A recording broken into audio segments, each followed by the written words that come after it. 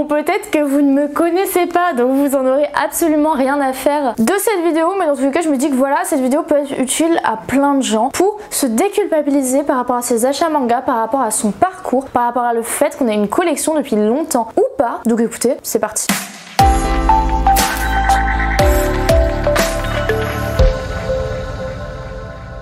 Et yo tout le monde c'est Rocky Manga, j'espère que vous allez bien, on se retrouve dans une nouvelle vidéo où voilà j'avais un peu envie juste de parler avec vous. Donc je me suis dit qu'il y a longtemps déjà je vous avais raconté mon parcours manga mais depuis on est au moins trois fois plus sur la chaîne donc je me suis dit que j'allais refaire cette vidéo. Du coup on va commencer avec mon parcours manga. J'ai un parcours manga un peu atypique j'ai l'impression parce que j'ai entendu personne qui avait à peu près cette histoire mais je vous avoue que moi j'ai été dans le manga euh, très très jeune étant donné que j'avais un papa qui à la base était libraire manga. Il avait euh, pas mal de mangas à la maison et qui était aussi passionné de jeux vidéo donc j'étais dans ce milieu là un peu très très jeune. Et bah moi mes premiers livres du coup que j'ai lu quand je savais lire c'était les mangas qu'il avait. Donc mon tout premier manga que j'ai lu de ma vie entière c'était euh, Doctor Slump qui est un manga de Akita Toriyama qui est pas aussi connu euh, que Dragon Ball mais qui était assez bien. Moi j'ai adoré j'ai grandi avec ça. Et le deuxième manga que j'ai lu que je ne recommande pas forcément hein, à des enfants aussi jeunes parce que quand je les ai lus c'était aux alentours de 8, 8 ans 9 ans c'était Gun qui est le pionnier de la science-fiction France, qui est vraiment un excellent manga. Quand c'est sorti, j'avais aussi les Gum Last Order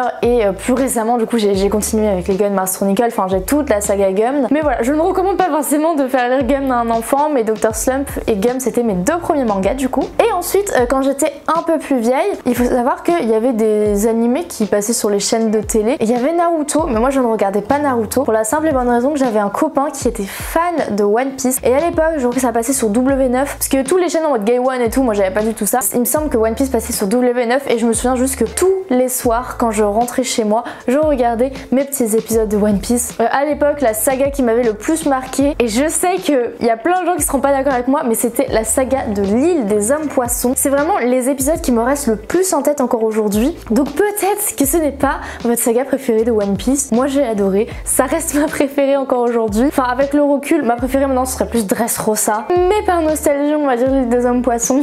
Et ensuite arrive une sombre période qui s'appelle le collège. Donc j'ai continué à regarder One Piece encore et encore, mais avec le collège, je me suis plus concentrée sur une era euh, jeux vidéo, on va dire. J'ai oublié de vous dire qu'à cette époque-là, j'ai commencé à acheter les One Piece et du coup, je les achetais euh, tous les deux mois ou trois mois, je sais plus quand ils sortaient. Donc à partir de ce moment-là, ça a été vraiment mon premier manga et j'ai full full full acheté les One Piece et c'était à peu près ma seule série. Comme je l'ai dit au collège, c'est dans une era très jeux vidéo, mais il y avait un manga qui m'intriguait beaucoup. En fait, il y avait deux mangas qui m'intriguaient à cette époque. C'était Tokyo Ghoul, beaucoup de gens en parlaient. Et j'ai pas commencé du coup par lire Tokyo Ghoul, j'ai regardé un animé qui m'a un peu remis dans les animés à l'époque qui s'appelait Psychopass. Pour ceux qui se rappellent, je sais pas, ça fait longtemps qu'il est sorti. Mais du coup, Psychopass qui était un excellent animé qui m'a remis dans les animés et j'ai commencé à regarder l'animé Tokyo Ghoul et j'ai tout de suite arrêté parce que je me suis dit je veux reprendre les mangas. Donc j'ai acheté l'intégralité des Tokyo Ghoul à l'époque et bien sûr à côté je continue à lire les mangas de mon père donc il avait les Dragon Ball et, compagnie. J'ai lu tout ça à cette époque là mais c'est vraiment Tokyo Ghoul qui m'a remis de fou malade au manga et après ça se lance une grande histoire d'amour. C'est-à-dire qu'après ça j'achetais, j'avais que quelques petites séries par-ci par-là. À cette époque là on va dire que j'avais à peu près une centaine de mangas. Je n'avais pas tous les One Piece, hein, j'ai jamais eu tous les One Piece. En fait j'ai acheté les One Piece à partir du moment où j'ai commencé à les acheter, c'est-à-dire environ à l'époque au tome 72, quelque chose comme ça. Donc je n'avais que la fin de One Piece, les Tokyo Ghoul et quelques petites autres séries que je me rappelle plus trop parce que je les ai revendues. Euh, notamment à l'époque j'avais du Ascension,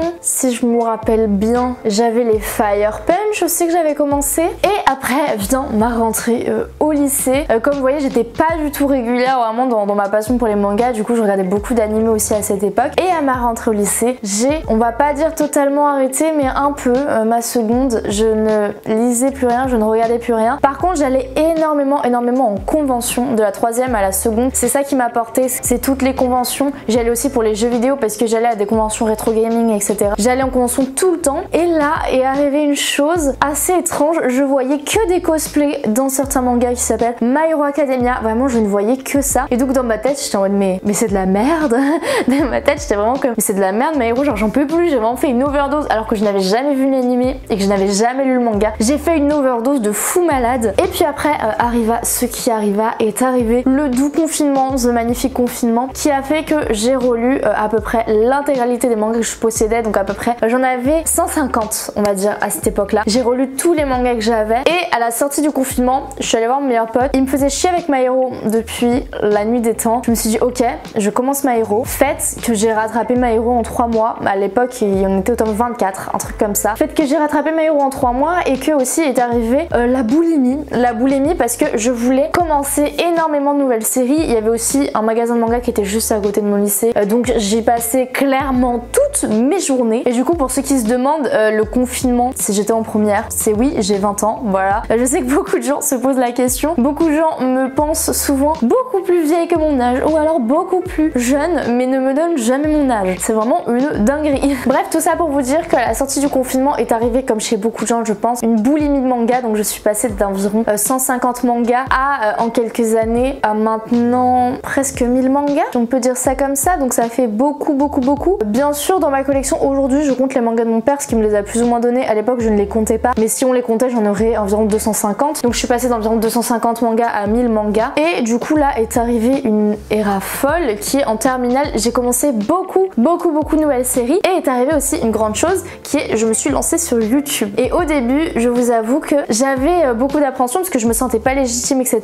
Et c'est mon libraire à l'époque qui aujourd'hui a malheureusement fermé, qui m'a beaucoup poussé, qui m'a dit mais, mais vas-y fonce, de toute façon on s'en fout. Genre même si t'as de la qualité de merde, parce que pendant très longtemps sur mes vidéos j'ai eu de la qualité de merde, que ce soit au niveau du son ou au niveau de l'image. D'ailleurs la qualité de l'image s'est réglée que récemment. Hein. Il m'a poussé à fond, je me suis lancée sur YouTube, notamment avec euh, l'appui de, mes meilleurs potes qui m'ont toujours dit vas-y c'est cool, qui ont toujours été là, genre euh, qui regardaient mes vidéos etc. Et d'ailleurs bah, si vous voulez que je parle un peu plus de mon parcours sur YouTube, un peu plus en détail, euh, j'aimerais beaucoup faire une vidéo où je vous parlerai de ça. Ce serait très très cool. Mais donc à cette époque là, ça a été aussi beaucoup l'époque de l'influence. Donc après, moi personnellement de mon côté, pendant un an à avoir lu et complété que les séries que j'aimais énormément. Donc notamment j'ai complété tout ce qui est mes Beastars, l'atelier des sorciers. On était beaucoup sur des seinen, etc.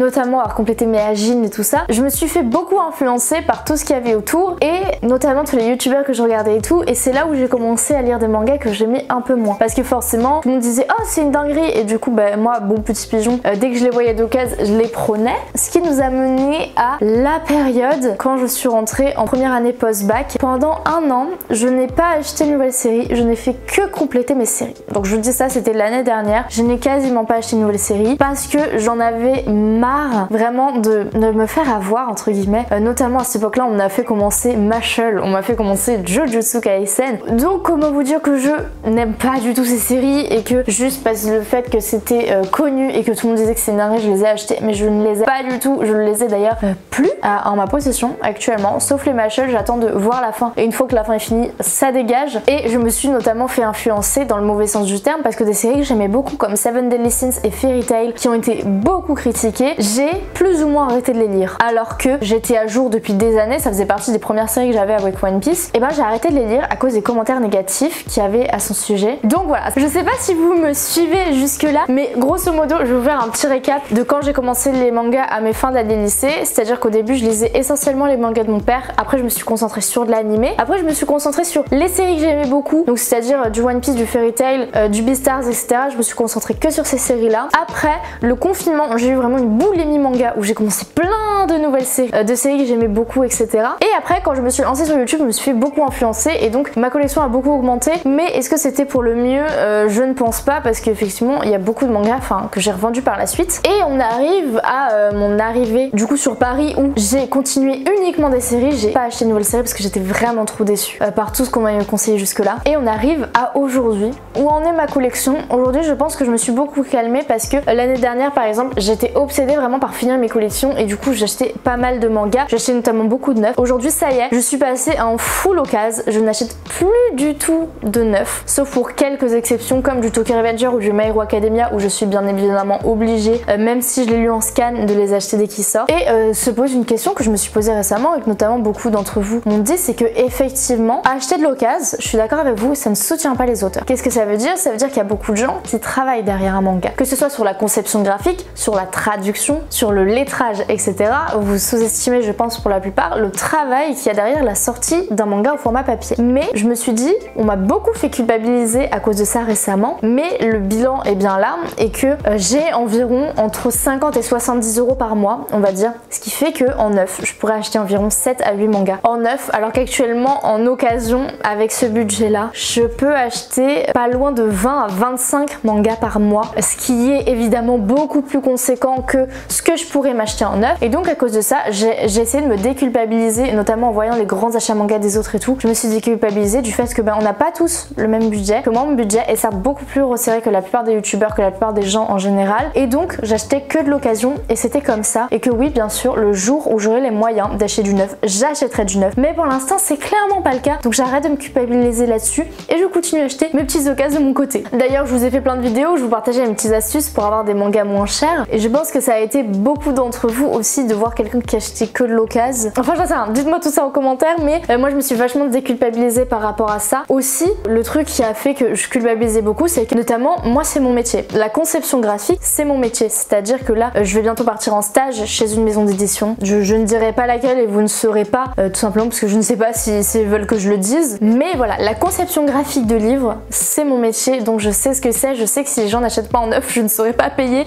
Mais d'un autre côté j'en veux pas du tout aux gens qui ne font pas ça parce qu'encore une fois on n'a pas tous les mêmes moyens. Voilà. Et euh, du coup est venu euh, en ce moment où je lis beaucoup plus de nouvelles séries mais où c'est surtout du coup que j'achète Code c'est un peu au petit bonheur la chance. Je ne peux plus compléter les séries et je ne peux plus lire les séries que je veux lire instantanément sur l'instant T. Et ça me va aussi parce que du coup par exemple en ce moment j'aurais pas forcément complété les Insomniacs tout de suite mais j'ai trouvé que de l'Insomniac d'occasion et rien d'autre qui est euh, la petite série, ah bah vous allez pas voir parce qu'elle est en dessous de moi, que j'aime énormément et au final de m'être obligée entre guillemets à la lire, et eh ben ça m'a fait beaucoup de bien et ça m'a fait découvrir une série que j'aurais euh, sûrement jamais continué et qui au final est une de mes meilleures découvertes de cette année. Et je commence aussi beaucoup de nouvelles séries du coup parce que moi d'occasion je complète mes séries et aussi il y a des éditeurs qui m'envoient des tomes. Vous avez dû voir récemment, ça arrive de plus en plus et je suis très contente. Et du coup euh, moi dans mes bilans lecture je trouve, qu'au niveau de mon contenu ça s'est vachement amélioré parce que le contenu est beaucoup plus riche dans le sens où avant je vous parlais que de mes suites de séries et là je vous fais découvrir au moins 2 à 3 séries par semaine ce que je trouve génial et j'aimerais beaucoup bah, continuer là-dedans simplement. Donc bref, j'espère que je me suis pas trop éparpillée, que vous avez compris un peu tout mon parcours. Bon en tout cas euh, c'est mon but donc vous m'avez compris c'est le principal. En tout cas euh, le message qu'il faut retenir c'est qu'on n'a pas tous le même parcours